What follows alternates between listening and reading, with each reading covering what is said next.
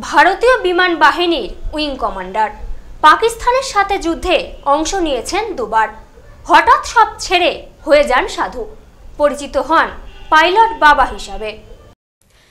ভারতীয় বিমান বাহিনীর একজন উইং কমান্ডার পাকিস্তানের সাথে দুটি যুদ্ধে ফ্লাইং কমান্ডার হিসেবেও অংশ নিয়েছিলেন। সেই মানুষ আচমকাই একদিন হয়ে যান সাধু।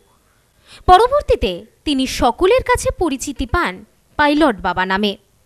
সম্প্রতি প্রয়াত হয়েছেন এই পাইলট বাবা। নিশ্চয়ই এতটুকু শুনে উইং কমান্ডার থেকে পাইলট বাবা হয়ে ওঠার এই কাহিনী জানতে ইচ্ছে হচ্ছে? আসুন তবে এই প্রতিবেদনের মাধ্যমে জেনে নেওয়া যাক উইং কমান্ডার ওরফে পাইলট বাবা সম্পর্কে। জানা যায়, এই পাইলট বাবার আসল নাম কপিল সিং। ভারতীয় বিমান বাহিনীর একজন উইং কমান্ডার ছিলেন কপিল সিং।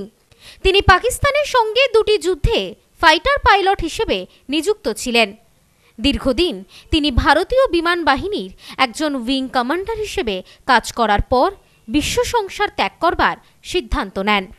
তিনি সাধু সন্ন্যাসের জীবন গ্রহণ করবেন। এরপর তিনি সাধু সন্ন্যাসের জীবন গ্রহণ করেন। ভারতীয় বিমান বাহিনীর একজন উইং কমান্ডার একটি উপাধি। যা পরে তাকে পাইলট বাবা উপাধিতে ভূষিত করে। জানা যায়, আধ্যাত্মিক দেবগুরু এবং জুনা আকরার মহামণ্ডলেশ্বর।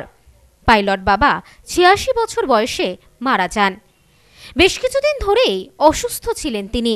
দিল্লির অ্যাপেলো হসপিটালে শেষ নিঃশ্বাস ত্যাগ করেন তিনি।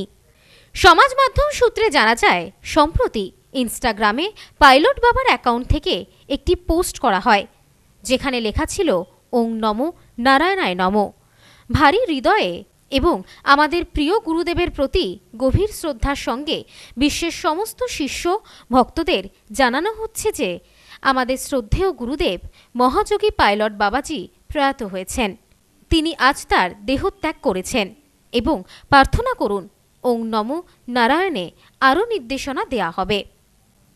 সূত্র মারফত জানা যায়, এই পাইলট বাবা হিন্দু মহাকাব্য মহাভারতের কিংবদন্তি যোদ্ধা অশ্বত্থামার সঙ্গে দেখা করেছেন বলে দাবি করেছেন।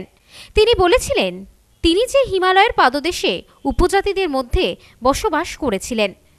তিনি unveils mystery of Himalayan part one এবং discover secret of the Himalayan part two সহ বেশ কয়েকটি বই লিখেছিলেন।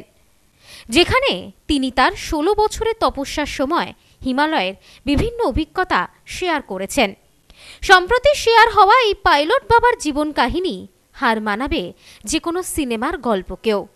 তার ছবি এবং ভিডিও সমাজ মাধ্যমে আসতেই রীতিমতন ভাইরাল হয়ে গিয়েছে।